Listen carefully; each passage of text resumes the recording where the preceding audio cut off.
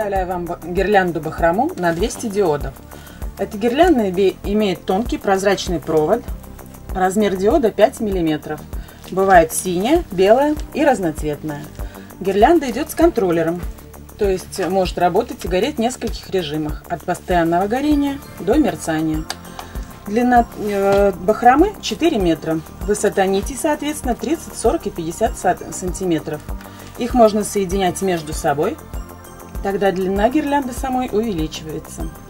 Эту гирлянду может, можно использовать как внутри помещения, так и на улице. Единственное, нужно будет укрыть от э, влаги контроллер.